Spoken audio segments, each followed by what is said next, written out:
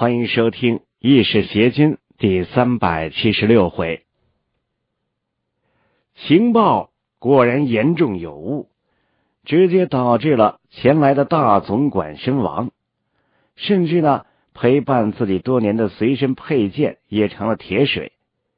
宁无情回到顿世仙宫，不被公主狂骂一顿，那才叫怪了呢。不过于一般那四爷实在是该死啊！听听他说的那些话，哪里有至尊之上高手的气度？就算是流氓混混，也不会下作到这种地步。老夫都有些鄙视他呀！哼！紫金红哼了一声，接着说：“见那老小子被烧了，说实话吧，老夫竟然隐隐的有些大快人心的感觉。烧的好，还有那风绝情说的也不错。”他只剩下一半了，哼，活着呀也没有多大意思了。呃，子兴说的是，那另外的计划可要变更啊？这倒不用，自始至终，这位风前辈也只是君家的靠山，始终是人类，他可没有提到过天罚森林，所以该怎么办还是要怎么办。就算他真的在乎天罚，但毕竟是当时没有说过呀。到时候咱们就可以推卸个干净，就说不知道，能有什么呀？看在得天之战的份上，想必他也不会如此的为难咱们。再说那个时候木已成舟，就算是发怒也是无济于事。他纵然如何了得，能凭一己之力对抗整个一族吗？哼，大局上还不是要靠咱们吗？紫金红慢慢的说道，嘴角呢露出了一丝诡异的笑容。殊不知啊，君莫邪当时想说的，但是痛苦的他呀，已经说不下去了。既然如此，那我们先将这天香这边放一放，集中力量到天罚吧。大可先将虎王和熊王击杀了再说。萧卫成呢，狠狠的攥了攥拳头。虎王和熊王今天受伤不轻，有此强援为助，应该呢会休养几天才会上路的。我们呀，正可从容布置。他们两个呀，不似梅尊者与蛇王有神兵傍身，相信更易得手。紫金红眼中金光一闪。哎，对了，君莫邪那个家伙，不是一直都说要去东方世家吗？梅尊者恋奸情热，恐怕也会跟着去。到了那个时候，哼，才是我们最大的机会。不过。要注意啊，千万不要动了那君莫邪，一定得留着他，恐怕还能跟那黑袍人讲讲条件的。另外，要加大力度对君家的监视，若是有必要的话，不妨拿些君家人来。萧卫成听得眉飞色舞，忍不住插嘴：“你找死啊！那风绝情很明显就是常驻君家的。要知道炼丹这种事情啊。”总会寻觅一个固定的地方才合适，而君家的贵族堂这段时间一个劲儿的拍卖那些神异的药丹，数量吓死人呐！分明呢就是这老怪物炼制的，这就说明了那老怪物始终在君家，从未离开，去绑架君家人。哼！哎呀，真亏你这位至尊金城的三蛛王座想得出来这般送死的主意呀！萧卫成一头冷汗，一想才明白了，君家果然是不能动的。其实嘛，我看我们倒莫不如派人调动大笔的钱财，以及我们历年来搜集到的灵药。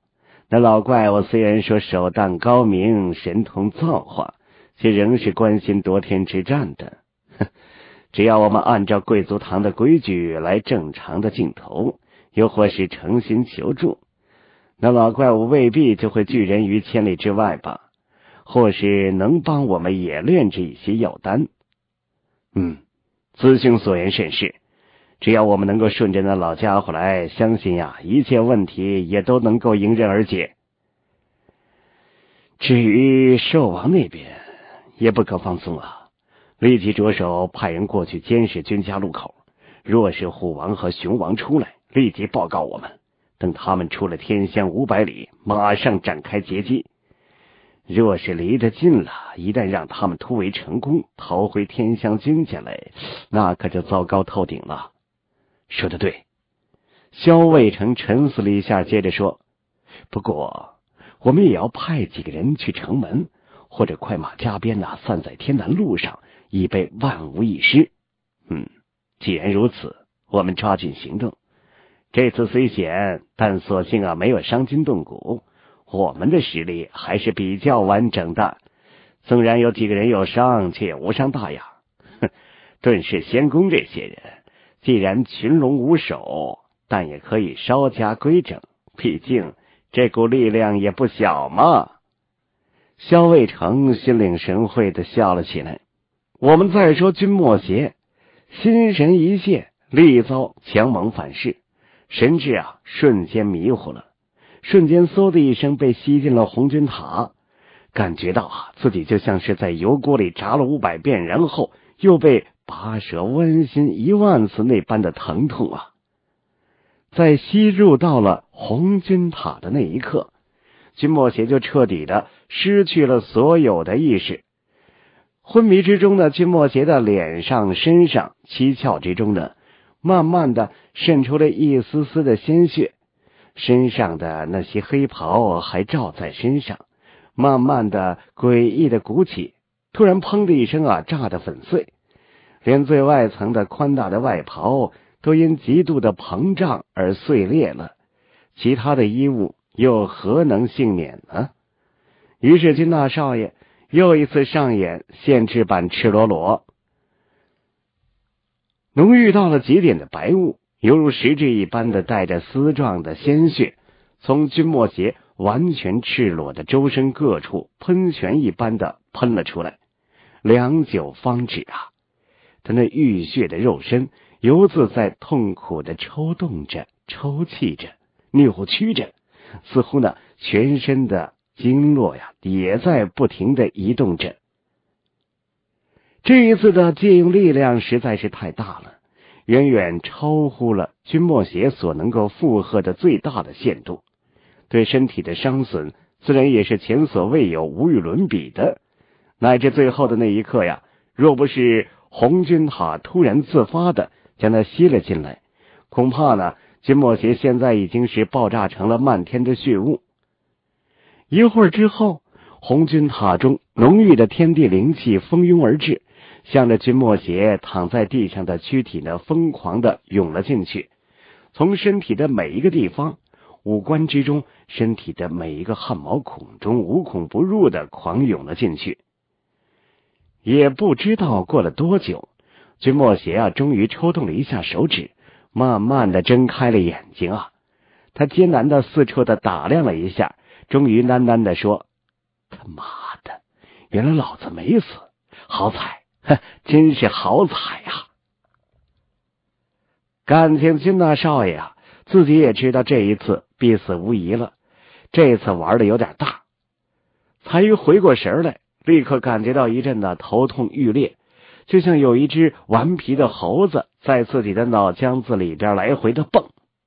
太阳穴上的两条青筋疯狂的跳动，如同跳绳一般，浑身上下只要是关节处啊。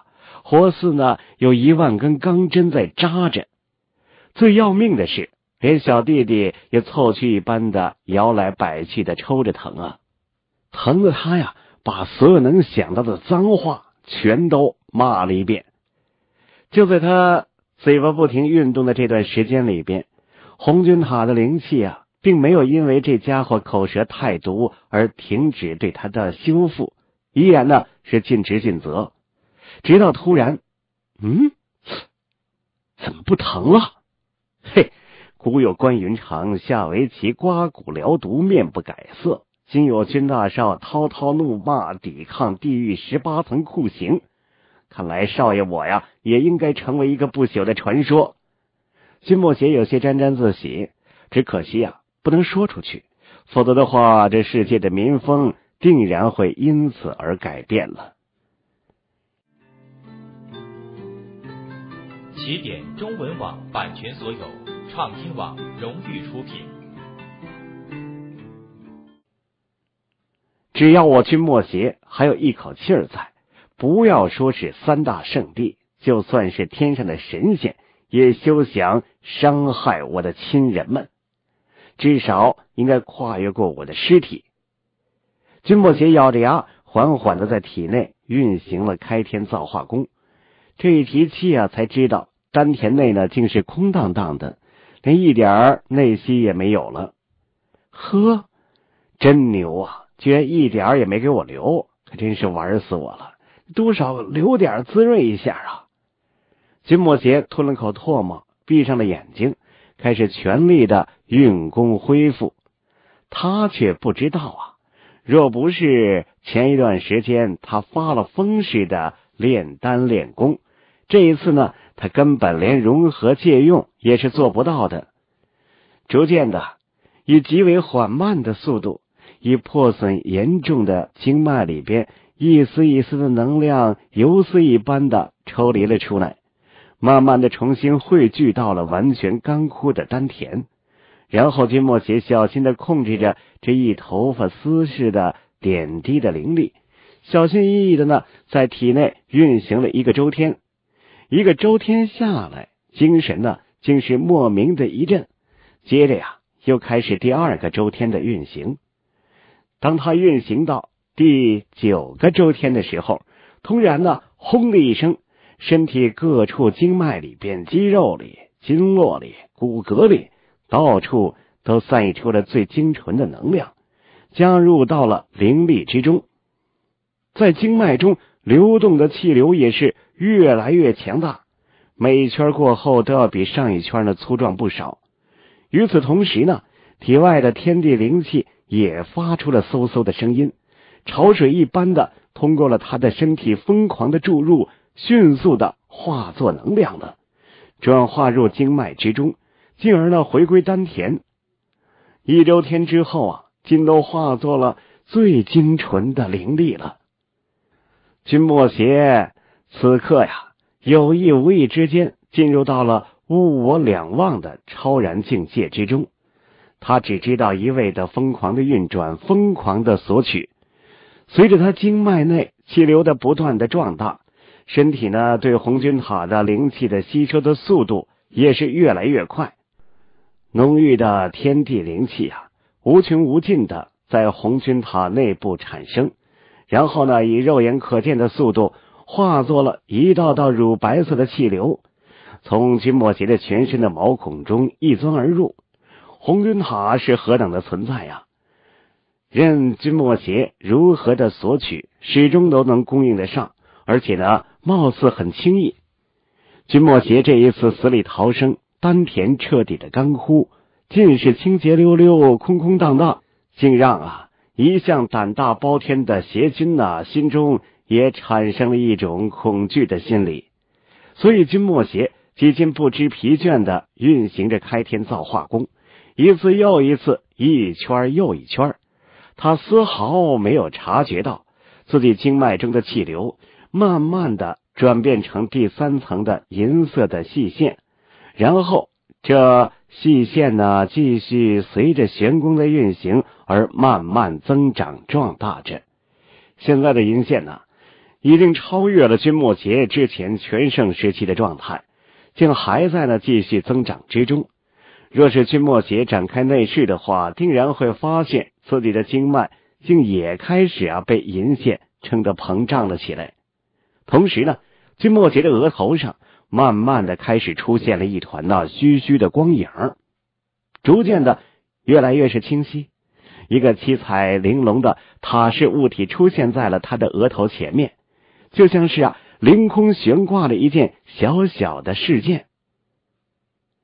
塔状的额饰啊，逐渐的清晰了起来，慢慢的凝成了实物一般。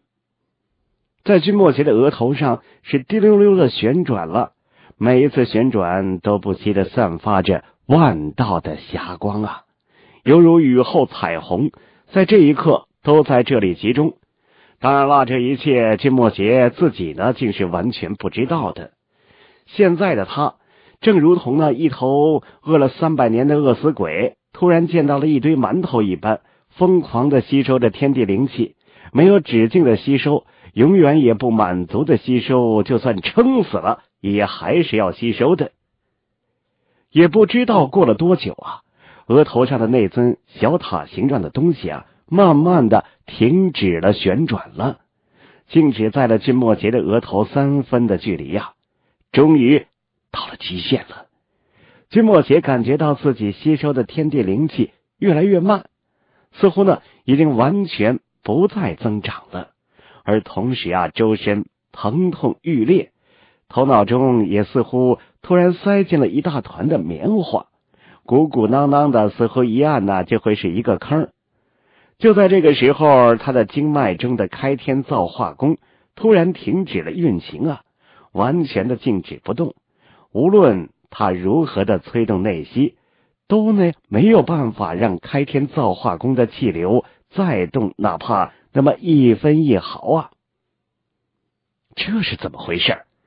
君莫邪纳闷的皱了皱眉头，正要运功内视，检查一下自己现在的情况，突然呢，毫无预兆的“轰”的一声，君莫邪的经脉中丹田内所有的气流突然爆炸了一般的向四周积压，瞬间突破了经脉的所有的限制，银色的气流化作了一粒粒微小的银亮的点滴的粉尘，是突然消失了。